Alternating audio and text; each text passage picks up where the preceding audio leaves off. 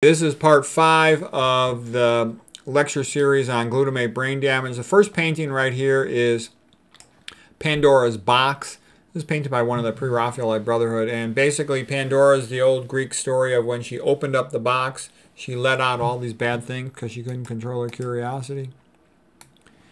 All right, and then here's another more modern painting of Pandora opening the box and all the problems floating out of there. And as usual, it's you know it's kind of funny. Everything is blamed on a woman. So like in Genesis, it's Eve's fault, so to speak, that she picked the apple, but Adam went along with it.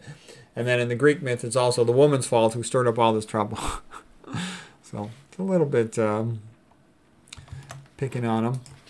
All right, so here the next thing is I'll just share with you briefly.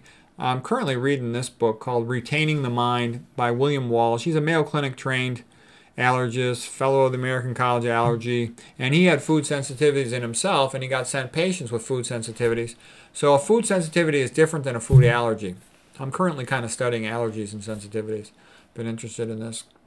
So a food allergy is something triggered potentially by a very tiny amount of the food, and you can get this sudden onset reaction, which can be big the second or third time around.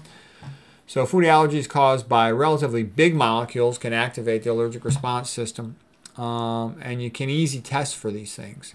But food sensitivities are different. These can be activated by relatively small molecules like MSG. And basically, as we get older, our enzyme systems to detoxify some of these chemicals uh, become weaker. And we can might have ate it just fine when we were 20 years old, but we get to be 40 years old and we can't detoxify it so effectively. So some of the most common food sensitivities are things like to MSG, manufactured free glutamate, um, there's other less common things that can cause food sensitivities. You can also get them to citric acid, which can contain glutamate, to malic acid, to lactose, you know, from milk. You can get them to the artificial sweeteners. Typical scenario is somebody ingests MSG and eats too much of it. Like let's say they ate a, a junk food frozen pizza. All right and then they'll start getting symptoms. They might get symptoms that night. It might take a couple hours before they manifest, but they can be real bad. They can be regular headaches, migraine headaches, even really severe cluster headaches. Um, I put the page numbers for some of the stuff in here. They can get insomnia that can be severe. Some people can't sleep all night long. Some can't even sleep for two days. This author said he couldn't sleep for two days after he'd ingested a large amount of MSG. Um, trigeminal nerve irritation, that's a nerve to the face fifth cranial nerve, and um, that can be associated with nasal congestion, discharge, eye tearing, eye redness. So you wouldn't necessarily put it together, but here's where this comes into play. He found that as he got older, if he ate large amounts of MSG, he would have difficulty speaking, transient uh, dysarthria, difficulty speaking, transient difficulties with memory. And so he called it retaining his mind because he had to learn to avoid all this stuff uh, to avoid these symptoms. And some people even get some uh, bouts of diarrhea, constipation, bloating uh, from ingesting uh, too excessive an amount of MSG that their body can't handle. So uh, it's rather interesting stuff. I'm finding this book very interesting. I usually think most books are pretty straightforward, and this one actually has had a lot of new stuff that was new to me that I thought was real helpful. Okay, so if you've got problems with food sensitivities or food allergy, I'm liking this book. I'll do a separate book report on it sometime soon. Okay, here's just a reminder that blood-brain barrier is protected by the same short-chain fatty acids that are microbiota derived, meaning that they come from uh, converting the dietary fiber into butyrate. Okay, so the same thing that protects the gut from leaky gut protects the brain, blood-brain barrier from leaky blood-brain barrier. It's an important point. You need to know that. Okay, there's no fiber in animal foods, no fiber in oils.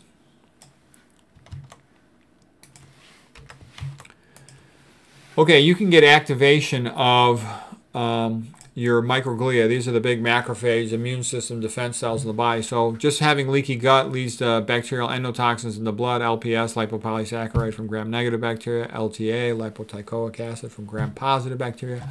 Those can get into the brain and they can, with you know, cross leaky blood-brain barrier, and they can activate your microglia cells. When the microglia are activated, they start secreting things that can be really toxic and dangerous. They can be harmful cytokines, but it can also activate the INOS, inducible nitric oxide synthase, and it starts releasing tons of this nitric oxide gas. It diffuses into your neurons and can produce combine with peroxynit combine with superoxides in your mitochondria and produce peroxynitrite, and that can finish off the neuron and damage it. So you don't want this happening. This is really bad.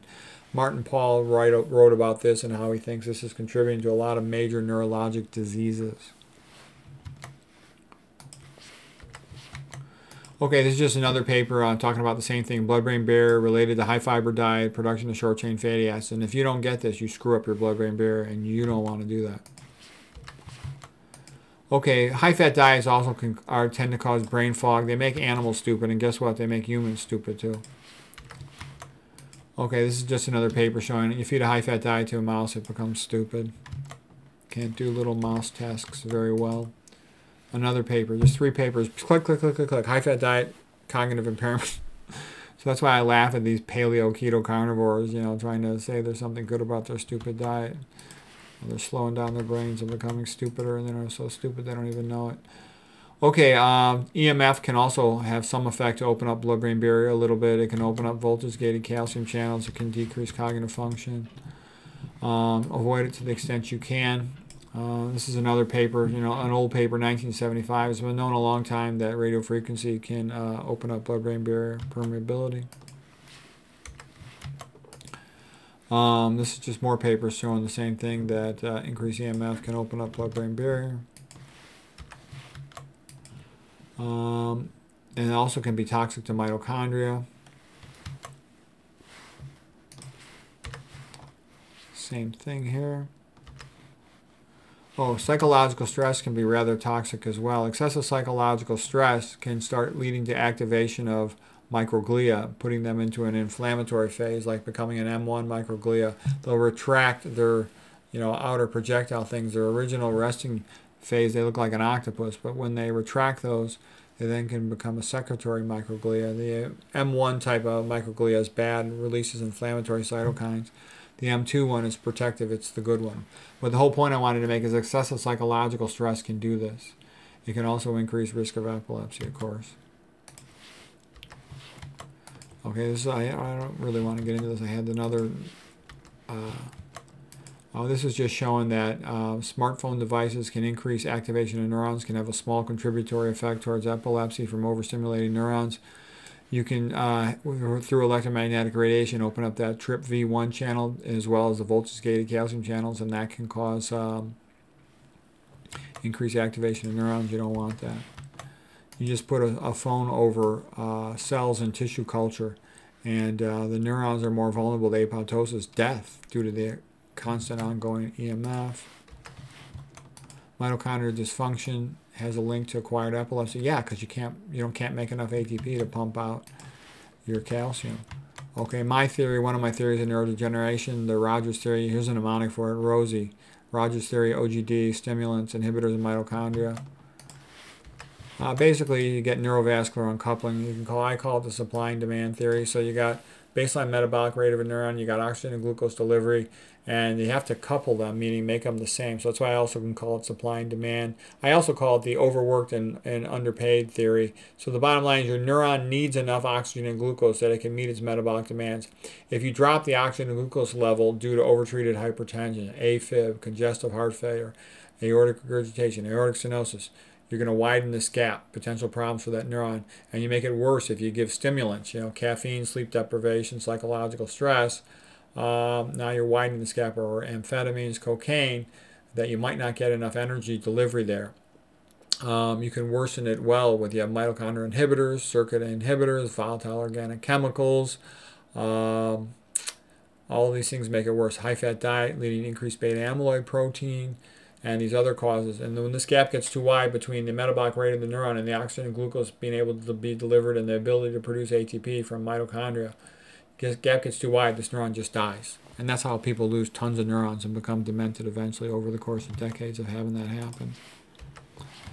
Uh, antioxidants are your friend. You get these guys from plants. You can just conceptualize it that if a person was out in the hot sun, they're going to walk under a tree for shade. The plant can't do it. The plant has to fight back and prevent oxidative damage by its antioxidant chemicals. When you eat the plant, you get them. You don't get them from eating an animal because it's already used them up. Um, leaky blood-brain barrier causes all kinds of problems for the brain because you get toxic chemicals in there. You can't run your uh, action potentials as efficiently as you like. The bottom line is, you know, if you avoid these toxins and you eat the healthy food, low-fat vegan diet, You keep your Johnson working. You'll avoid pills and surgeries, and you probably live to about 90, early 90s. Everything else being equal. Um, on the other hand, typical American, you know, they, they're fat by their late 30s, early 40s.